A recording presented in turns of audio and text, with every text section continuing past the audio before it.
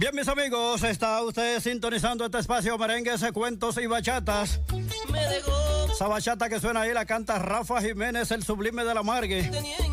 Acuérdese que ahorita yo le dije, hablando del rey de Roma, y es el primero que se asoma. Tenemos por acá con nosotros a Rafa Jiménez. Está en visita merengues, cuentos y bachatas. Tal y como me lo había prometido antes. El hombre está por acá. Sin más preámbulos, sin más vueltas.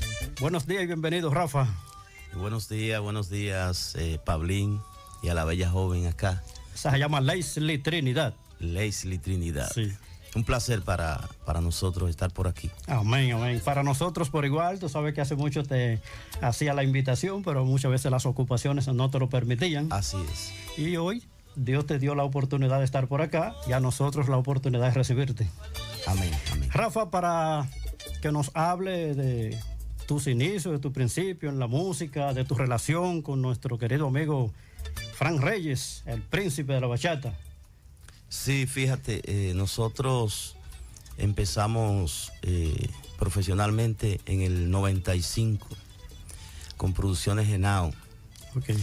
en el cual allí en, en la empresa compartimos con el mismo Fran Reyes, Gil Soriano, entre otros.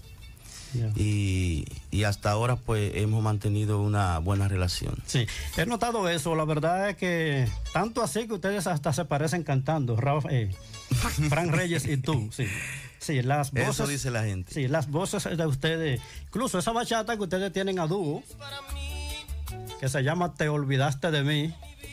Esa bachata suena muy bien. Y la verdad que empieza cantando Fran Reyes Así es. y luego la otra parte la canta Rafa Jiménez. Y cualquiera desde el inicio que la escucha completa la bachata cree que el mismo Fran que, la canta completa. No sé si me entiende lo que te quiero decir. Claro que te entiendo. Sí. Lo que pasa es que cuando me inicié, eh, yo grabé mi primera producción con el equipo de Fran Reyes, o sea, con los músicos. Esa es inocente de amor. Inocente de Amor, Sí. que fue todo un éxito. Demasiado. Gracias a, a usted y al público. Todavía la fecha, la bachata que a mí me gusta, tuya. Sí. Qué bueno, qué bueno. Sí. Bueno, Rafa, para nosotros, como te dije ahorita, es un placer y una satisfacción tenerte por acá. Y luego ahora te voy a preguntar sobre lo mismo. Esa bachata te olvidaste de mí, Rafa Jiménez, Fran Reyes.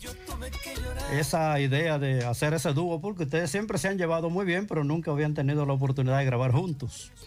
Eh, fíjate, esa bachata eh, a él le gustó.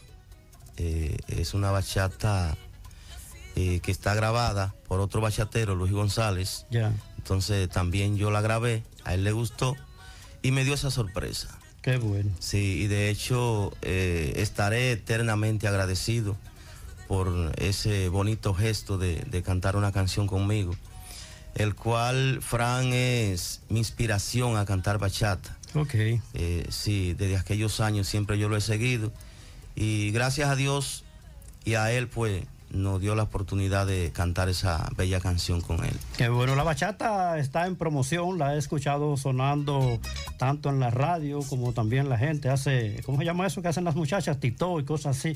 La Sí, gente le ha dado un seguimiento, óyeme, profundo.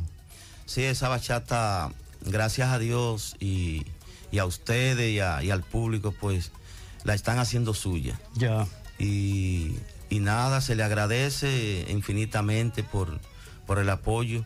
amén. Eh, veo que hay mucho TikTok. eh, Sí. Tenía 2033 hace Oye. aproximadamente una semana. No, y ahora que va a subir, que usted llegó a merengues, cuentos y bachata. Así es, Sí, así es. sí. Rafa, hemos notado que de un tiempo para acá ya se están activando las actividades, ya muchas presentaciones artísticas. No tienen Fran Reyes, Rafa Jiménez o Rafa Jiménez por sí solo algunas actividades pautadas para los próximos días. En actividades no, no tenemos pautadas, pero estamos ensayando ya el grupo para tirarnos para la calle. Sí, así mismo. Sí, así es. Bueno, pues nosotros entonces le deseamos muchísimos éxitos. Usted siempre contará con el apoyo de su amigo Pablín Torres, donde quiera que yo pueda estar sonando bachata. Usted sabe que le he demostrado una amistad que no es desde ahora. Sí, eso es recíproco. Sí. Eh, recuerdo que fuimos a tu hogar en el 1995. Sí, con y Genao. desde esa fecha, pues, se ha mantenido una bonita relación. Sí, sí, no, y la verdad es que no porque tú estás presente, tengo que decir de ti que has sido una persona muy humilde, muy correcto, muy conocedor de esos asuntos de música. Incluso cuando yo me inicié radio, porque yo inicié la radio fue en el 97, pero ya te conocí a ti, yo visitando la radio, recuerdo que venía aquí mismo cuando eso era Radio Color. Sí. Y había un programa de bachata y yo siempre visitaba la emisora que traía cartas para que la leyeran.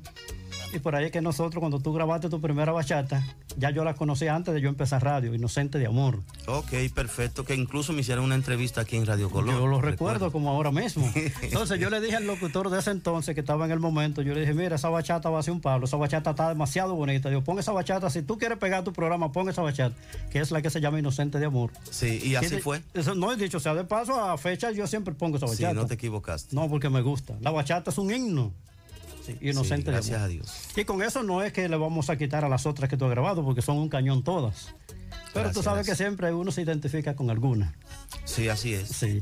Rafa, algunas palabras que tú quieras decir extra a la audiencia, a la gente que conoce a Rafa Jiménez, a la gente que tenía deseo de escucharte hablar, porque cantando, claro que te escuchan bastante, pero la gente que tenía deseo de escuchar a Rafa Jiménez, ¿qué tú quieres decirle a tu público? Sí, decirle que ya pronto estaremos eh, tocando fiestas y que nos estamos preparando y que muchísimas gracias por el apoyo inmenso a este tema junto al príncipe Fran Reyes y que muchísimas gracias y gracias a ustedes por la oportunidad. Sí, bueno, usted sabe que las puertas siempre estarán abiertas donde está Paulín Torres, su amigo. Hay gente que dice que las puertas están abiertas. Yo le digo a usted, no hay puerta. Usted simplemente le dice, voy para donde Paulín. No hay duda. Sí, usted, sabe que usted no es hijo de doña Justina Torres y Pablo Rincón, mi papá y mi mamá, pero usted es mi hermano.